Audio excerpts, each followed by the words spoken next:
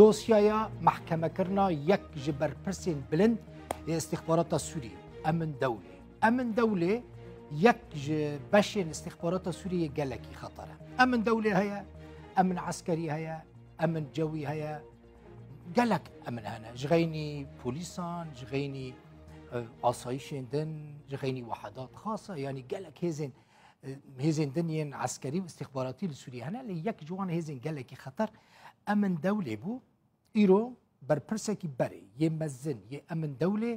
کو ل آلمانی التجا کربو هات محکمه کرن او کس برد ناو اتلاف اپوزیسیونا سوری دابو بناو اتلاف و که راویشکار چوبو جنیف جی بشتاری گلک دانو ستاندنان ببو ایرو یک جمجارا میا سرکه همه بیجن توب ستوری یعنی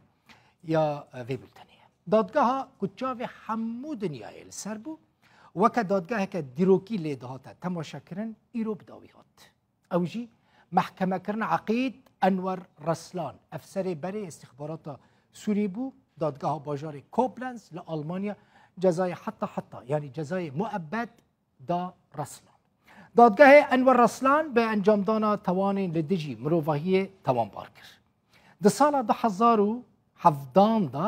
هەفت وڵاتیان سووری کوژێ ئیشکەنجەکردنی ڕزگار ببوون وخجهان دبنا المانيا لقال ركسنا كما فين مروفان يا الماني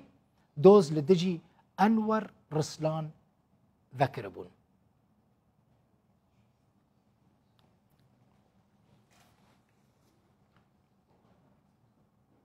انور رسلان کیه بلکه هون مراق دكن از اجوارا بيوغرافيا وي بینم سر اکرانین روداوی او روجا سي سي يعني سي شباطا 1966 لە باژارۆکێ تلدۆ لە حمسێ ژدایک بووە دەرچوویە کۆلێژە یاسایە ینی حقوقناس بووە دەناوبەرە ساڵێن 1950 ئەفسەر استخبارەتە سووری ئەمن دەولی بووە دەناوبەرە ساڵێن 1950 2010 دەژی سەرۆکێ بەشێ لێپرسینەیە تحقیقێ بووە لە شاخێ ئەمن دەولێ دو و پنجی و یک یکی شاخین گلکی ناسکری امن دوله بویا لشامی سال 2012 جه رژیم سوری جدا بویا و چویا اردنی دناوا اپوزیسیون سوری دا جه گرتیه و سال 2014 لگل اپوزیسیونه بشداری دانوستاندنین جنیفه بویا سال 2015 لگل مالباتا خواه مافی پنابری سریل مافی پنابری دایل آلمانیا و مافی پنابری ورگرتیه د شباته د هزار و نوزدان دا لګل اندامه کې دن ی استخبارات سوری ل المانیا هاته کړت ایرو بسوجه اند انجام دان توان ل دجی مروفاهی